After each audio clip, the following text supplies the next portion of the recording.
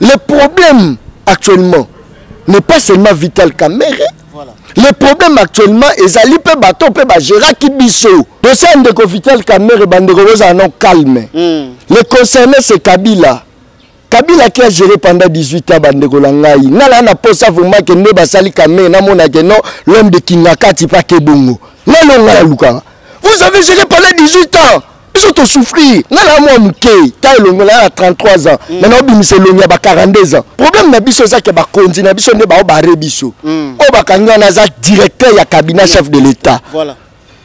ntango directeur directeur eza lokola loboko na loboko ekangami boye nyonso esalamaka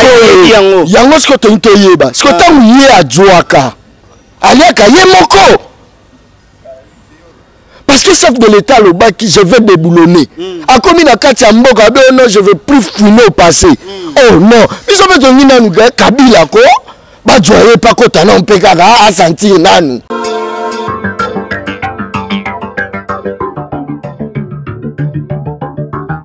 na se ya mbula na se ya moi mosala oyo tokosala yango parce que balobi mosala yango papa yango mama tokosala mosala oyo avec énergie parce que yango nde tobotama mpo na kosala yango tokoinforme bino bandeko bolanda biso na mokili mobimba bomona ndenge moi eza kobeta ngai na misu moi eza kobeta ngai na maboko kino na makolo me mosala oyo nakosala yango kaka parce que makambo ekomi koleka na mboka oyo kongo yango nalobi Robino Mundibu na Ferre Gola bofana na kuna ba aventurier. Yo Ken Piana Kelly Katende ba aventurier bofana na kuna ba chronique musicale na bino. To solo la intérêt général, intérêt général eza bongo Congo eza mboka na biso nyonso. Bomoni lelo actualité ezali ndeko Vital Kamerhe directeur du cabinet ya chef de l'État Azali bongo na prison centrale ya Makala. Na nsima na yango, nini ezali kolobama na parti na ye ya UNC, nini ezali kolobama na, UED, na UDPS, na parti ya president de la Republique, e nini ezali kolobama bongo na baoyo babengaka ba petit peuple, e nini ezali kolobama bongo na presse epai na biso. Est ce que eza normal to eza normal te? Tozoyoka, il paraîtrait libala yango il faut basilisa yango, bakosangana lisusu te. Et nani apesaki nani pouvoir et nani abalukeli nani nde eza motuya ya lelo tozali kotuna bato oyo bazali komona makambo yango mpe bato oyo bayambaka bango na baémission lelo badona konde yo ozalaka moto ozalaka na bamusicien ba ozalaka motu boye oyesu na politike ndenge nini parce que politike eza intérêt général john kabamba mwana congo azali moko oyo ya ba journaliste ya ba politique oyo tobengaka bango ke non ba chroniqueur ya ba politique bino wana ba politique na bino wana bino wana ba politique na bino wana me na ngonga oyo ba john kabamba il faut baloba yikiyiki ekoti na mboka biso tokoloba nini mwana kongo john kabama mbote mbote de la presse epuis mbote na bato to balandaka yo parce que mm. oza journaliste ya moke te oza journaliste ya monene oyebi yo moko ntango toyanda obunda bitumba na yo bagaz lacrymogène tokokota na base ya euh, bachar de combat oyebi yango lelo élection esalami alors euh, élection wana esalama il faut bato bacomprendre ke no baréalité bajournaliste banani oyo babundelaki mpo na élection mm. est ce que bato basengaki élection mpo kaka kabila akende Mais bizaleli ya mabe ya Kabila etikala. C'est ça maintenant la question. Est-ce que Kabila ke oui, mm. bizaleli mabe ekei, moyibi ekei, souffrance ya peuple ekei. C'est ça le problème, question de yango. Question de yango wana John Kabamba nayebi te soki na sima ndeka baloba kena au dernier jour vous direz que je suis prophète eza na likambo moko boye banda koloba depuis kala ntango ozoto ozobanda kutu mosala na bapasi yikiyiki ekoti yikiyiki ebimi lelo tomoni mutu nyonso na kongo na ngonga oyo yikiyiki ezali yikiyiki wana yo obandaki koyeba osuetaka yikiyiki ekoma na mboka to ndenge nini nayebi ke non un jour bato bakoya koreconnaitre john kabamba aza nani mm. Reali eh, réalisation na makambo ya john kabamba eza ndenge nini voilà. waye donc nga moko mm. nayebaki makambo eya lobi parce que baémission yango tomataka ngomba concentration ya nyama voilà. otala vraiment bozomona ke no mama mikate azolela abandi kolamba mikate mm. mafuta etumie na makolo ah. azwi mikate wana abaloli yango atie na mesa bato bakomi osomba mm. soda aye abotoli ye carton ya mbongo ake na yango yoka siko mpasi wana mais un simple individu aodetourne autant de millions d'argent ba taxe pe epai bazofutisa kaka mama mikate wana mm. voye mais lelo toye komona ke na kati ya mboka na biso oyo tobelelaki biso nyonso tolobi ke no mm. tozoboya yikiyiki omoi yikiyiki wana voilà. nde makambo ezoleka sikoyo me tokamwe sikoyo yikiyiki yango mpe elandi biso elektio esalami ah. me na yikiyiki likolo c'est là où tozo continuer kaka liti wana de père que solution ezwama yikiyiki ekoti na mboka john kabamba tokoti mamo na lisolo na biso ndeko na biso directeur ya cabinet ya chef de l'état vital camire depuis lobi na butu toapprenaki ki azalaki bongo don na bapokwa azwaki invitation mpo akende na parquet ya matete nsima nango ba 19 heure baprendre biso john kabamba ozalaki wana balobi aza transféré bongo na prison ya makala ezoleka ndenge ni makambo yango john kabamba atuka mama mwana okota yango te moyibi a moyibi moyibi bakangaka ye mm. mais sikoyo ça reste à savoir voilà. soki moyibi bobeleli ye aza moyibi ah. ye sikoyo ayebi so ke no na moyibi wana toliaki mbongo peut-être na mwasi ya chef de l'état voilà. sikoyo suite nango ezala nini ezozo comprendre sikoyo parce que wana bafongoli nde bitumba bitumba ebandi moto akotika moninga aza te bituma oyo eh, ebandi banani baobunda eh, na bango ya bango ti ah. boyokanaki ndeni ya basignature na bino ntango basignaki udps inc voilà. boyokanaki ke so tokomi na pouvoir tobanda oyiba mbongo mm. to, to boyokanaki ndenge nini so ntango sikoyo yikiyike ekoti ya makambo ke no simba ekanga ye me ye mpe olobaka naliaki nga moko te abandi sikoyo obimisa sikoyo baseke sikoyo soki nayebisi bino nga john kabamba nayebisa bino bokoyoka nde makambo omweke bazalaka basololaki mais soki basololi te ke eza réalité Eh, soki ayibaki ayibaki mpe na bato mosusu mais john kabama tomoni kutu garde corps mpena ya, ya, ya ndeko vital kamere mpena na baveste alobi topesaki bango pouvoir lelo tande baridiculize biso siko nani apesaki nani pouvoir ye nani azo ridiculize nani wana ya baventure biso siko peuple tokokota aventure wana te mpo carbure ezomata Euh, dollar ezomata tozo vivre na insécurité babakiseli biso su coronavirus comme pilipili oyo bayolela fufu na pondu donc tozo vivre na situation atuka makambo ebele alors bamema biso l'aventure wana ti so bopesaki ye bokonzi boyebake non bakabelaka camarade mwasi te osimbelaka na mwasi na ngai na voyage nanu okuta makambo mosusu mwana obotama donc na minute oyo ka nde boyebi bopesaki ye ye moto akomi siko chef lelo bopesaki ye bolingi siko asani ozo comprendre mm. nga sikoyo na orapele le problème actuellement n'est pas seulement vital camere voilà. le problème actuellement ezali mpe bato mpe bagéraki biso parce que chef de l'état alobaki je vais déboulonner mm. akomi na kati ya mboka abe oh non je vais plus fouiner au passé mm. oh non biso mpe tongi nanu kabila ko bajwa ye mpe akota nao mpe kaka ah, asentir nanu ntango tolobaka kabila kabila oyo kaka après idps akobeta ono oh nous voulons plus rupture entre fcc na cash mais sikoyo rupture ekoti sikoyo entre inc na idps wana mpe eza rupture oh, na ndenge nini makambo nde ebebi yo yoki te ke non badepute ya inc balobi ke bazopesa 48 heures so kamera abimi te bazokikisa mboka yango te john kabamba yaka kasi boye yaka tozosolola boye sikoyo toloba ntango bakosikisa mboka toloba ke non bango bazali contre mibeko ou bien bazali contre idps bakozikisa ou bien baza contre président bakozikisa mboka mpo na likambo nini ngai nayebisaki yo ke ah. naleki na baplateau ebele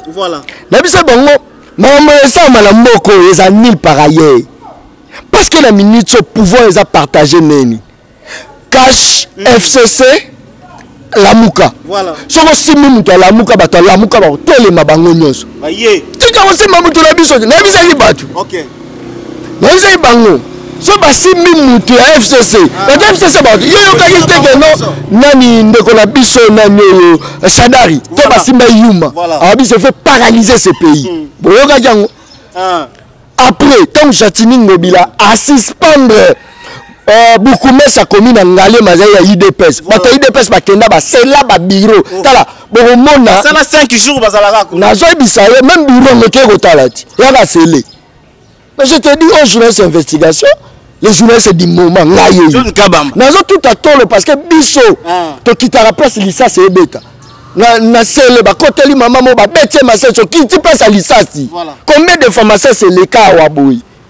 soki oyoka soki mosa bajournaliste mosusu baozela kaka ono oh conférence de presse kuna lisasi ezalaka te soki biso tokitaka mpo tosécurise bamama yango nazongisa population nalobaki yango hmm. lelo oyo sikoyo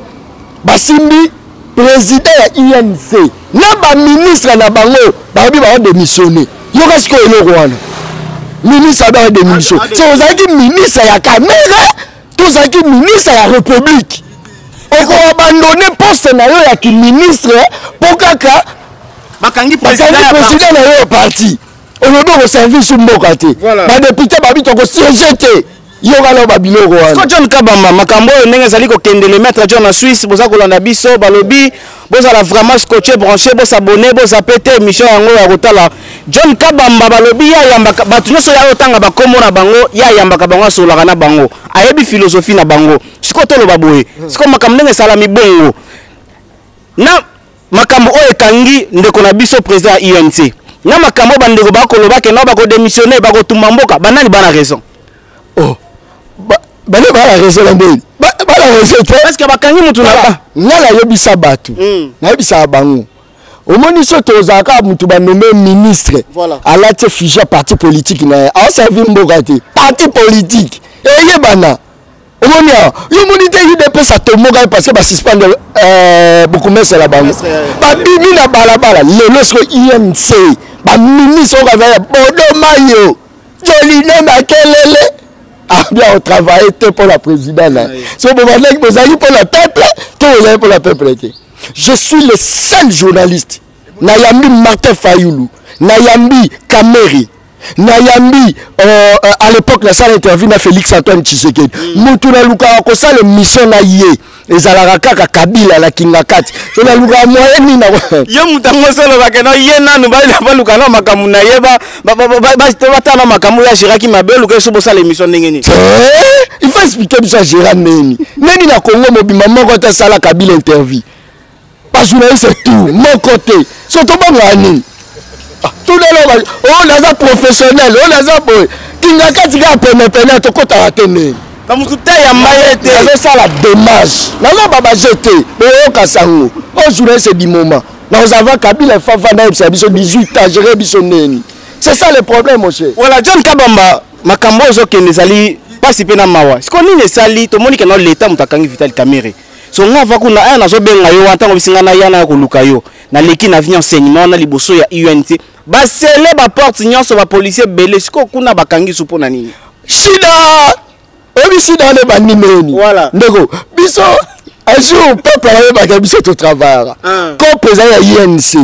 eh, inpc voilà. inpc abanda epa koteka bacarte Ah. Eh, bakati na babaci bakati ya babaci bakati atiaki yango 20 dollar mpo ngai na directeur ya production hmm. nakendaki soko korepresente soko chaîne na ngai nake kosomba bakati tipe moko kuta gangaka eh, mutu botekela bakati oyo botala ye bien sino te akoki akoyibisa nakipe te bayaki nayokaki yo nde bakati yango ezali na prix moko boye mais mpo na nga batekela ye nga yango na 2000 francs 2500 2000 carte wana ezali 2500 niveau in, inpc ekotisa ye mbongo na bidja mboka ekokomaka bongo te population ya kisi mpo bato tu bakoma profite baye na bachaîne akoti kombo bana na ye voilà. ya basi na ye ayebi soka eno bokesombela biso na compte ya chaîne mpo bazala na accès ya kokota so ntango sikoyo hotel de ville atimbeli keno boro wana ye mpesa akoti mbongo ebele inpc mpe na tour na ye hmm. ateki bamakaron aboyi makaron ya inpc ozalaki na makaro ya inpc boza suna tse te yoka lisolo te inpc nani nani hotel de ville abi bamakaron na bango ekokota te so omeki kaka kokota awa tokobloke bango ale gentini baye kosala vente aux enchères carte macaron ekomaki ti na 25 000 francs na moko bato baosouffrir makaro ekoma na 25 000 francsconfinement papa 25 000 yoka population bazowelela yango plein so jour wana ezali coronavirus azalaki mutu na akoti bato tu na nzoto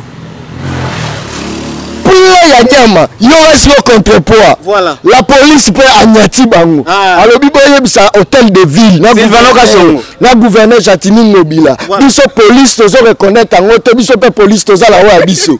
yoka bati ya mboka yikiyiki sikoyo toloba na gouverneur de la ville na la police nani mokonzi ya ville ndeko na nga biloko esamba na congo eza nango kaka lokola kaka ke no motu moko akolamuka mpe boye asali disko oyoki te no monatieme mpe président de nayebisa yo mboka eza mboka ya yiki motu to ozere na ndenge naye nakuwa na ye voilà john kabamba message nini oyo bato bako retenir biso bato baolanda biso bako retenir message nini pene ya malonga concernant dossier ya ndeko na biso vital camere dossier ya ndeko vital kamere bandeko bozala no calme mm. le concerné c'est kabila kabila ki agere pendant 18 ans bandeko na ngai ngai naa na posa vraimen ke nde basali kamere namona ke non l'homme de kingakati pa ke bongo ngai no ngai nalukaka vous avez géré pendant 18 ans biso tosouffrir ngai naa mwa moke ta elongola ya 33 ans mm. maintenant obimisa elongi ya ba 42 ans à cause de la souffrance je vous dis je souffre nous nous souffrons dans notre propre pays bacolonise biso pendant que tolingwa des époques à colonisation imaginez vous toujours vivre la situation très difficile. Ces gens-là, bah, Gérard Bissot pendant 18 ans. Chef de l'État, ils ont une initiative à bien, nous allons déboulonner. Après, ils ont changé, nous allons refiner la passée. Nous n'avons pas à fouiner. nani alobaki mais peut eza mabama balibala ah, oyebi nini balobaki yango nalobi je de je fungwami kamera afongoli je toyoka sikoyo kevie na ngai hmm. atelemi mpe boto omoni juske la ata so bakangi nani ata so bakangi sadari ngai naondima nga te etat de droit eza ngai namona no kabila no nasamba nanu botuna kabila atikela bino atika bino da mboka yango banda loba akenda akende esi akei boluka bakanga ye mpo na nini ndeko omoni omona oyo hmm. oyo eza bayonete bakotisa awa yango oyo ezomono bayonete okufa pamba ndeko na okufi na malaria na nani na okufi na malaria ah. okufi na typhoïde omati na wewa wewa auti so mbujima so ngandajika so wapi ayebi okumba te mpo na mpasi amati na wewa akoti so na sa remoke na ke obundeli mboka no babeti so masasi okufi na honneur ape independance eye wapi liwa ya, ya malonga me bakosi mokendi bakendaka bafami ya bango balelaka otyaka ngai ya bajaka bakosi mokendi te ngai nabundelaka bongo te yo yoka deja ngai babengisi ngai ya parti politique ah. yo yoka deja ngai naosakisa nkaka motu nayamba kamere yo yoka de nakepa kamere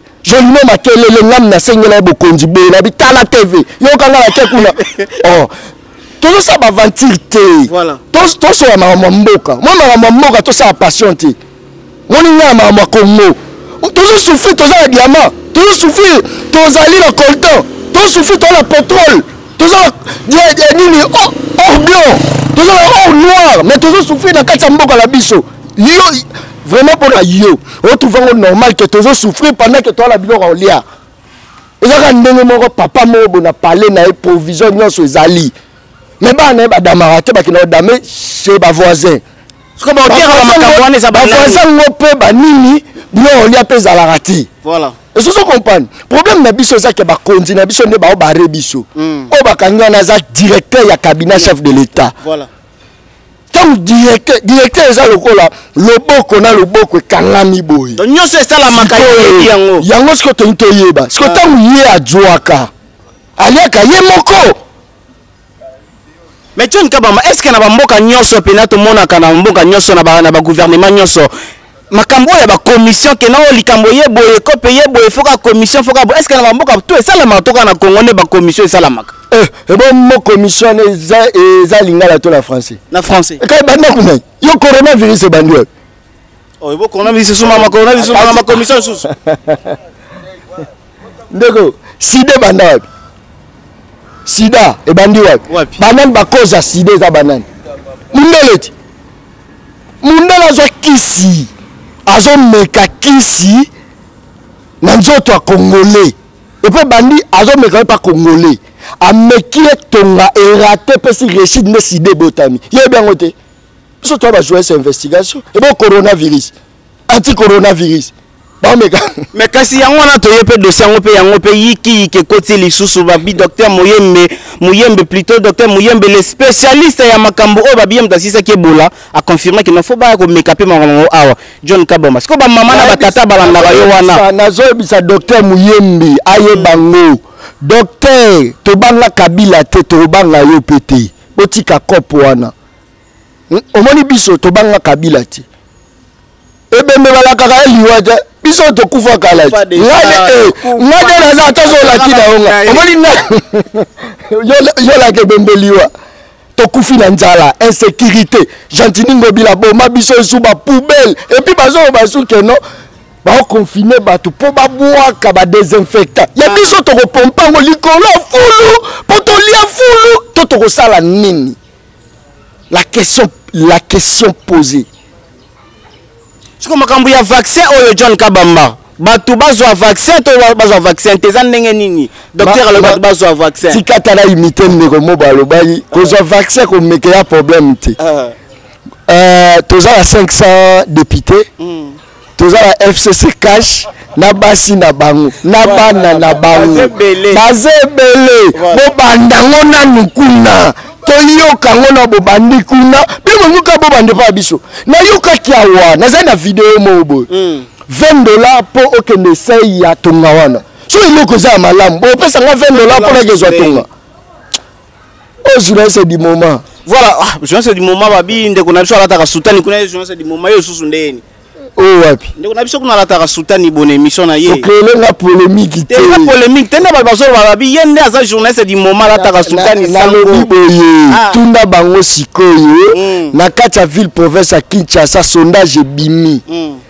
le euh, ya ba émission eza suivi mm. hein tuna na deux premier émission mm. nani eza na kati ya deux premier mais tuna bango bakosala bino na bapoto oyo oh, aza suivi na kini aza suivi aza suivi wapi wana bosolo na politique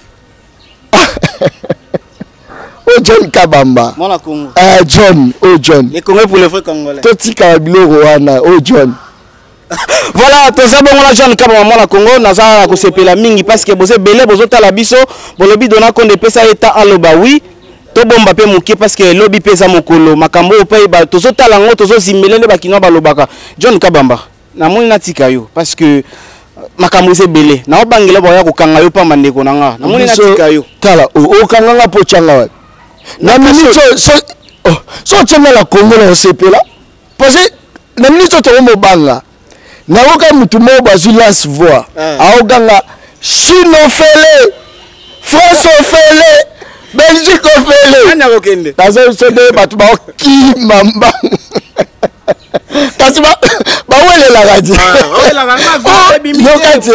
nzambe oyo aza mystique oka mutu moko boye tembe ozala bala na yo so bakenda na nzela nini mm. attention faut pas blague avec moi na na bala na belgique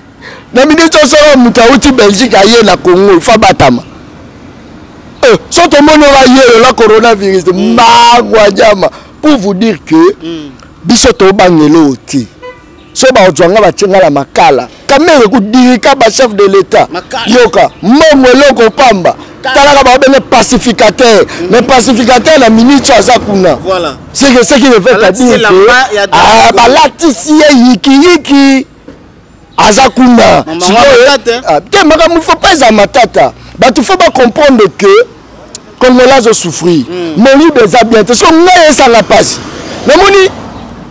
nakovanda mpe bomoni mpo namoni appel moi ezokota lokola mwana kamere soso nayambi ye na minute oyo atuni nga ke no papa na nga bakangi ye mpo na nini soki na explike ke papa no bakangi ye mpo ya moyibi yo wana eloko wana kasi lobi tomoni bato na selemao ntango bajipe wana ezoya bato bazoyemba ye wana moyibi moyibi batangi nkombo na ye estce eza normal wana eza koridiculize motu oh, me baomo nde baluka yango ti oluka omoni lelo ngam na yo eza population eh. omoni tete toza tomoni mutu mutu kaka kiti kaka boye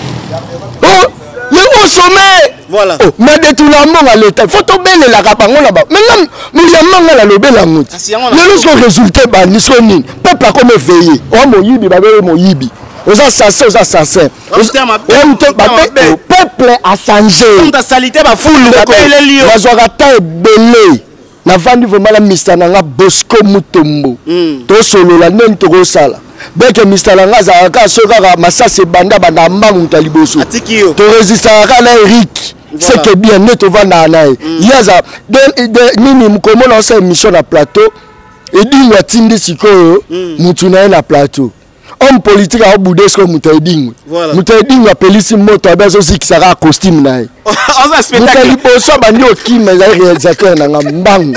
na kati ya plateau atiki yo o oh, nga o oh, nayeza yo ah. sikoyo biso sikoyo bajohn ka balanda mpe bavideo wana mm. soit osengi nga ona otyela yango omo ava homme politique tu la misi azaza réalisateur tu la misi aza cameraman tu la misi azaza batikilangamo mais yikiyiki john kabamba tokomi na suka émission na biso na nyonso tolobi nini bato bako retenir yo